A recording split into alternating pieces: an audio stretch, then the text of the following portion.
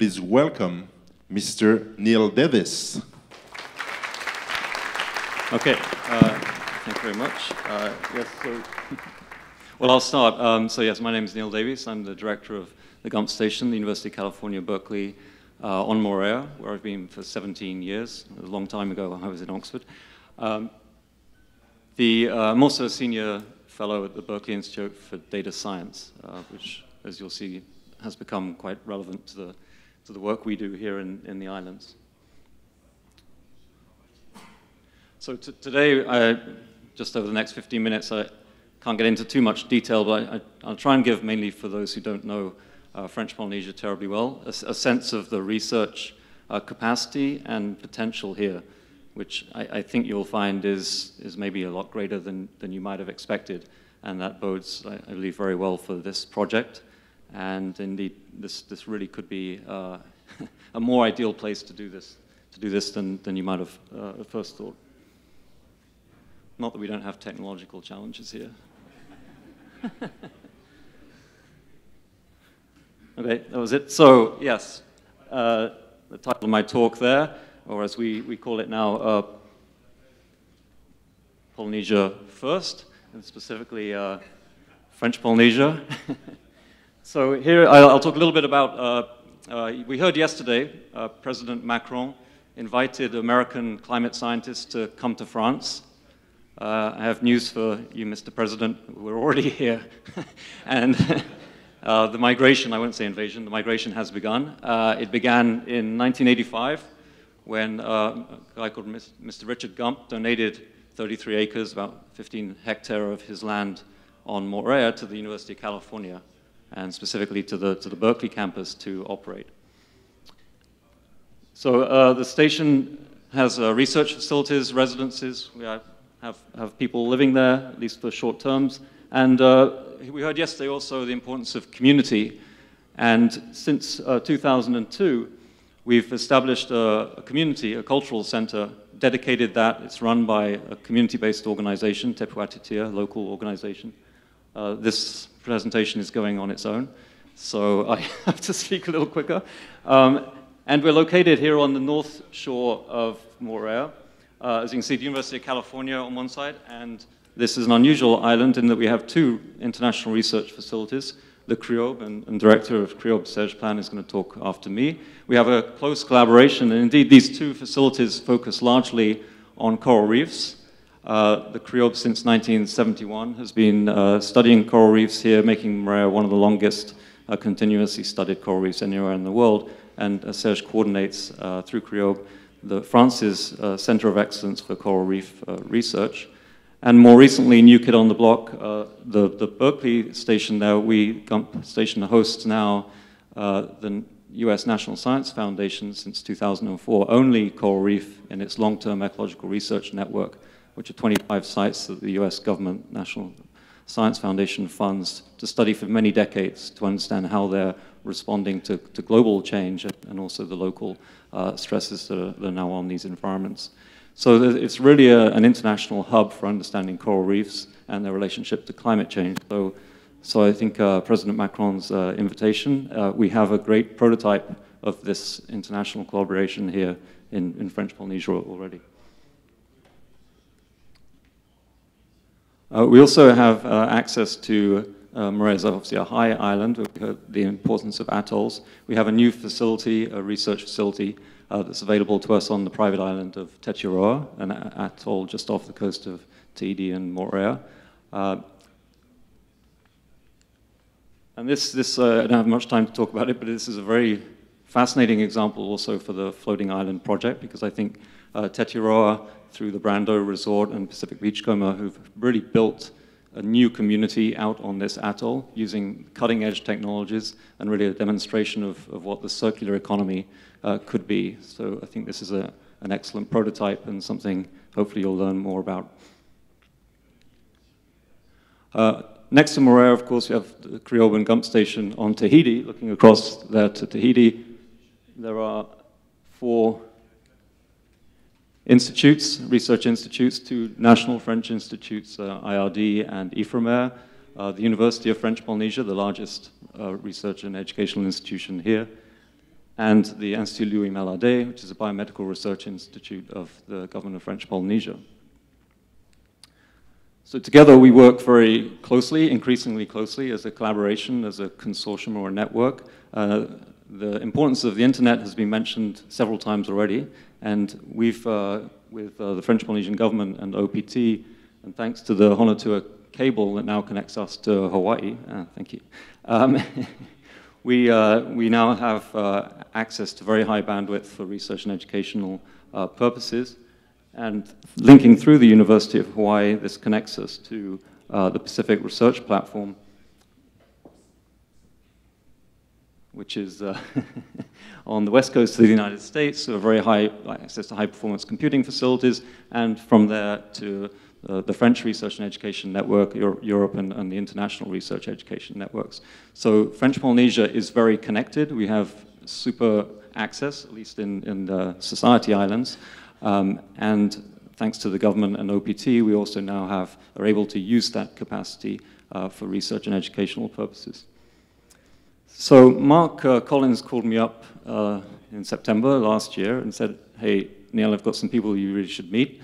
Uh, and here they are. They came over. I was leaving the next day, but they came over and we had, a, we had an interesting afternoon. And I presented some of the work that we're doing on Moorea. And I think it was along these lines of uh, island research, uh, sustainable sustainability science, and systems thinking. This is really, you know, we're on these small islands, we take a whole system approach, but we study, study them in, in a lot of detail. Because basically the, the, the, real, the island we're increasingly having to study now as scientists is this one, island Earth. So humans now are having such an impact on, on this island, our, our common island home, that we really have to understand our relationship with the environment because we can't ignore it anymore. We, the, the earth essentially has become a garden for us. We need to tend it. We can't pretend we don't have any impact. So we have to learn how to do that smartly. And we have to learn very fast because we're hurting it, uh, and we won't survive in this garden much longer if we carry on the way we're behaving today. But it's a very big complex garden. So with a lot of humility, we're trying to understand. Humility, yes, but we have to understand it because we, we have the technology uh, to do it a lot of damage. So our approach, for example, you have to study the planet now as an entire system. And when astronauts first went to the moon, the most significant thing was looking back, seeing the Earth. It's called the overview effect, recognizing it is this island floating in space, and that it is an interconnected system with basically the sun's energy is the only real connection. So we have to study the planet. We can't study things just here on Tahiti or Moorea and fully understand what the future holds for us. We need to look at what's happening around in the Pacific Ocean and processes that are playing out on a global scale. But what matters to us is what happens here locally. What does that mean, finally, for us? And also what happens here locally and what we do in aggregate feeds back up to the global system. So we, we need to understand both scales, and this is the huge scientific challenge. How do we connect large-scale processes with the local scale processes? So for example, if we want to understand the impact of rising carbon dioxide concentrations in the atmosphere and that's being absorbed by the ocean, leading to ocean acidification, we need to study things at a global scale. But if we want to know what that means for a coral reef, say the ones here, we have to study the calcification process at the level of the genome and the molecule and we have to look at the variation between different species of coral, for example, how will they, they respond to, they'll respond in different ways. So we have to study things at the molecular scale. So from planet down and genome up. So that's, putting it mildly, a vast, vast challenge. Our approach is to use model systems, just as it's done in health research, biomedical research, focusing on C. elegans, yeast, and, and fruit fly, we need to focus on some model ecosystems that we can really understand, model places, we can really understand how they function in detail and connect them to the planetary processes. So Moorea, these small islands are of, we believe, ideal model ecosystems for study. Uh, I won't go into detail here, but for example, very few places in the world have a complete species list, which is, you think is pretty much basic starting point, but you'd be surprised probably how few, even intensively studied places, have a complete list of the species present an international collaboration, including some in this room, led this. So we have such a list now for Moorea, but that's just one little twig on the tree of life. The vast majority of diversity in, in the world is microbial. So Moorea, we have a list now of the animals and plants, and we're working on the microbes. But even for a small island like this, that's a massive challenge. But we have these amazingly new technologies now, uh, essentially like the new microscopes for sequencing, where we can actually start to look at this new world. It is an entirely new world to discover. A new age of exploration has indeed begun. So we have this roadmap of how to build a model ecosystem, describe all the parts, at least the biological parts. That includes genome sequencing everything, every species at, at some point, including humans, and including the ecosystems that we carry around inside us. Look at then the interactions among all of those parts. How do they fit together? This is sort of network science. Um, and then uh, develop models. And to do this, we have to build, uh, we have to have scientific understanding across all of the sciences, more or less, from environmental, ecological, the history, the archaeology, where do all the species come from, the climate history, uh, up to uh, what are humans doing today, the social, economic uh, uh, processes and forces acting on these places. So that is not only a big scientific challenge, if, if all these sciences are going to work together to address how is this system functioning, this is a massive science in what's now known as data, data science or big data. And it's really a question of integration. How do we integrate all these different data types, models together in a platform that enables us to ask interesting questions and get useful answers back? So we've launched this program called the Moorea IDEA, Island Digital Ecosystem Avatar. It's basically the goal here is to, to build use-oriented simulations, called avatars, of entire social ecological systems. We start with these small islands like Tetiaroa, Moorea, and eventually maybe Tahiti. Um, and the question is, what will the state, or if you like, the health of the system be under alternate scenarios of environmental change and human activities? So it's a scenario-based planning tool, but based on a really deep understanding of at least one system and how it connects to the rest of the world. And the approach is one we've stolen really from biomedical research, uh, promoted by Leroy Hood here, are the P4 uh, health approach, which is personalized. Every place is different, just like every human is different. Uh, predictive, can we predict something about the future? If we can, we can prevent negative outcomes. We can intervene before it's too late, saving a lot of money, but also leading to better outcomes. And it must be participatory. We need to share information with other people in other places to learn. Um, but also we have to take responsibility about the places we live, just as we have to take responsibility about our personal health. So you've got to be involved, everyone. So that includes the community, scientists, politicians, entrepreneurs, everybody. And that fits, very well with the spirit of this conference. so the last couple of years, we've had a lot of workshops. It takes a lot of workshops, including with community, as well as different scientists and technologists.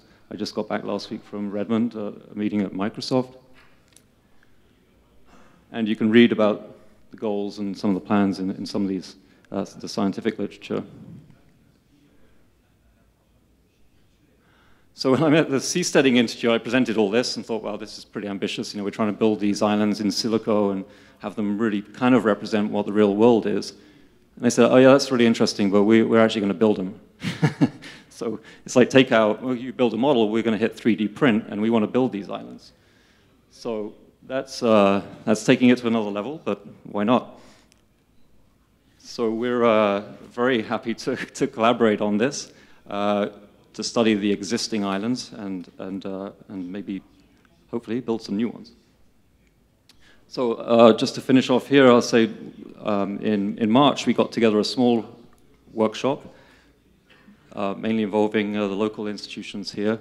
Um, and the goal was really to see how this project might benefit existing island communities, so some immediate impact for, for French Polynesia, catalyzing innovation in, in the food, energy, waste, and environment sectors, uh, developing application strategies for hazards and associated sea level rise, and really trying to build these smart and connected communities of the future, which will involve connection between land and sea, because the ocean is 70% of the world and it has massive potential which we haven't even started to exploit.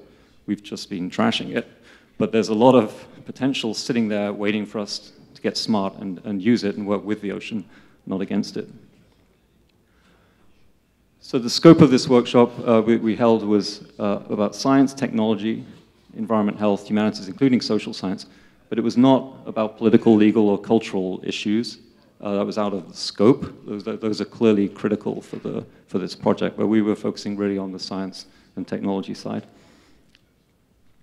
Um, and the objectives were introducing the Seasteading Institute to the local institutions um, to assess the technological, environmental, and sociological impacts and, and opportunities, and to explore specific research and development uh, opportunities for French Polynesia associated with this project. So the six institutions I mentioned earlier were invited. Uh, four of them were able to participate at, at short notice. We had some representatives from the government and, of course, from the Seasteading Institute. And we spent a really productive few days uh, discussing these issues. And one of the findings was that this project matches perfectly with French Polynesia's research and innovation framework. You can, you can see the, the, the titles there. So a very good fit. Um, and yes, there's indeed a lot of potential for collaboration uh, between the local organizations and, and the Seasteading Institute. So where we're at right now is we're putting together a, a, steering committee and an MOU, which we've got a draft of, and we're running that by the, the local institutions to see, and Seasteading Institute to, to sign that very soon, I hope. Um, and I'll just finish with, you know, the goal, I think, is how can we weave a nurturing fabric, uh, a cyber, cyber physical uh, fabric that couples marine and terrestrial systems.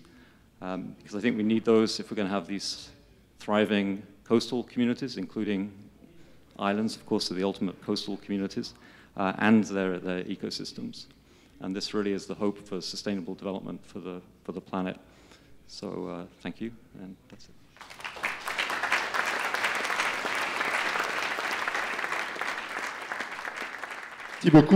Merci beaucoup.